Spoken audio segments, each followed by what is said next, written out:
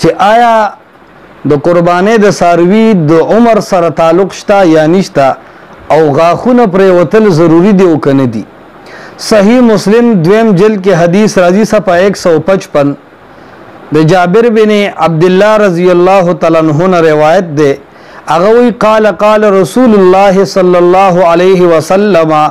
لا تذبحوا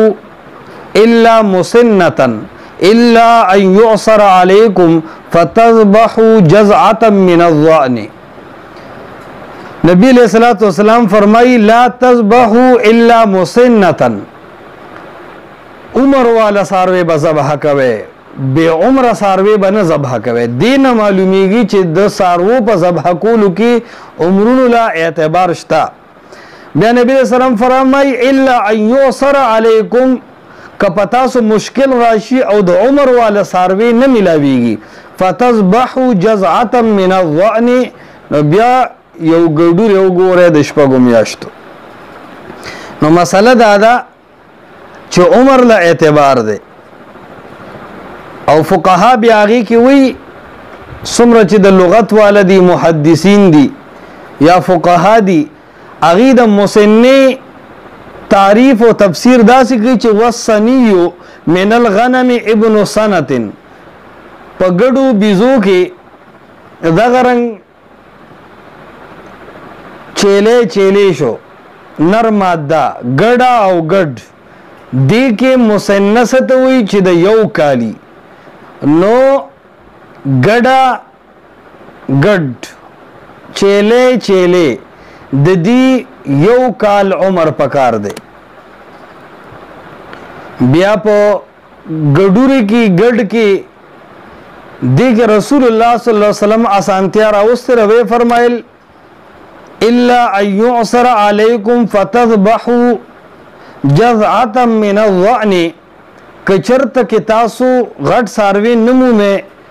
یاد یو کال والا ګډورې نه نو بیا شپږو میاشتو والا هم کافي دی خو چې دومره سور وي چې کال والا ګډانو کې پرېږدي او پته نه لګي او داسې د زمیندارو ته پته وي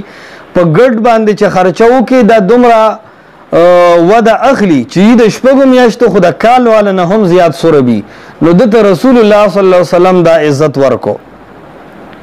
بیا وی وسنی من من البقر ابن سنتين غوا او میخه مذکر مؤنث دا دواړه دی کې مسنه چې کم دنو د دوو کالو ته وي غوا میخه مذکر مؤنث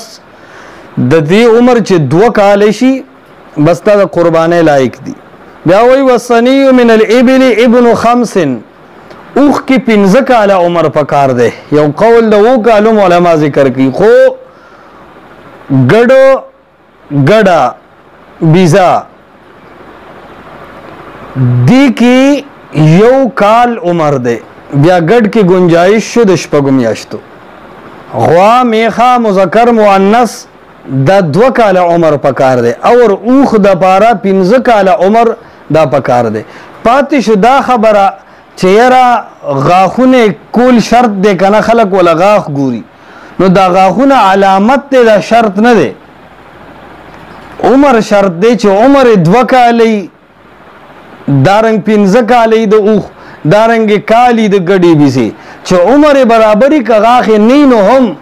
قرباني پې کېږي او که چېرته مخکې غاښ وغورځول عمر یې نه دی برابر بیا هم پې نه کېږي مطلب دا چې غاښونو له اعتبار نه دی که غاښ یې وي که نه وي خو عمر هغه دوه کاله په غوا میخه کې پکار دی دارنګ چې کم دی په ګډه بیزه کې کال پکار دی او په اوښ کې پنځه کاله عمر هغه پکار دی